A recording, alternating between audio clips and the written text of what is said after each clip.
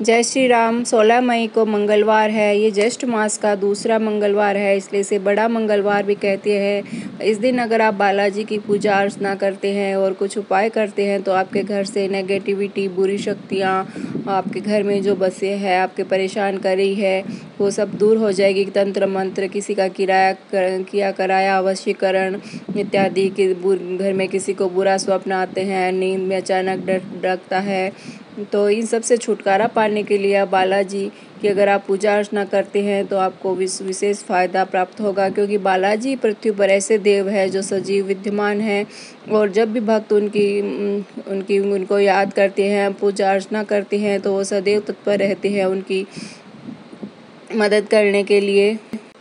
कि आपके घर में हमेशा कलह का वातावरण रहता है, किसी ने बुरा तंत्र किया है, नज़र लगी है, टोटका किया है। हमेशा चिंताग्रस्त रहते हैं, लक्ष्मी का आगमन नहीं हो रहा है, परेशानी दिन ब दिन बढ़ती जा रही है। ऐसे में आपको एक उपाय करना है, आपको पीला सिंदूर लगाना है सिंदूर लेना है और बालाजी को चोला चढ़ा सकते हैं। अगर आप मंदिर में नहीं गए तो घर में आप बालाजी को सिंदूर से बिंदी लगा के भी आप उसका कर सकते हैं उपाय। बालाजी को चोला चढ़ाने से बालाजी बहुत प्रसन्न होते हैं और इससे आपको विशेष कृपा प्राप्त होती है उनकी। अगर आप मंदिर जाके चोला नहीं चढ़ा सकते तो अपने घर में ही बिंदी लगा सकते हैं।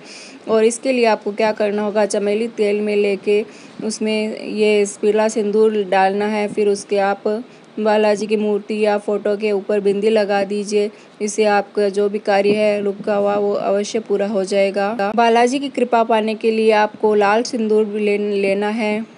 लाल सिंदूर नहीं है तो आप रोली भी ले सकते हैं। आप उसे एक कटोरी में लें और एक हाथ में आप सीधे हाथ में इसे ले और दूसरे हाथ से इसे ढक दे और बालाजी की मूर्ति के सामने बैठ के आप हनुमान चालीसा का पाठ करें और एक मंत्र का आपको जप करना है, आपको घी का दिया लगाना है या आप तिल के तेल का दिया भी लगा सकते हैं।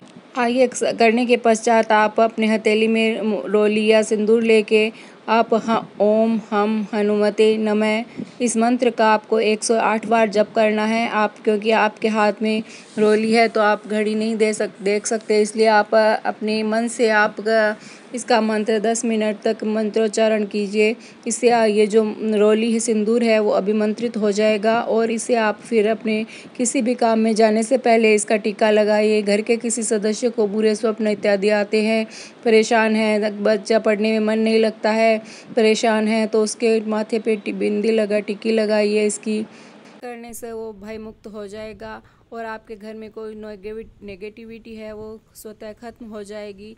आप जब भी इसे बाहर जाएँ तो आप इसे बिंदी इसकी टीका लगा के जाएँ, और ये आप इस मंगलवार को अगर नहीं कर सकते तो आप इसे अगले दो मंगलवार को भी कर सकते हैं। और ये अभिमंत्रित रोली या सिंदूर है, उसे अपने और कार्य के लिए भी इसे प्रयोग में ले सकते हैं।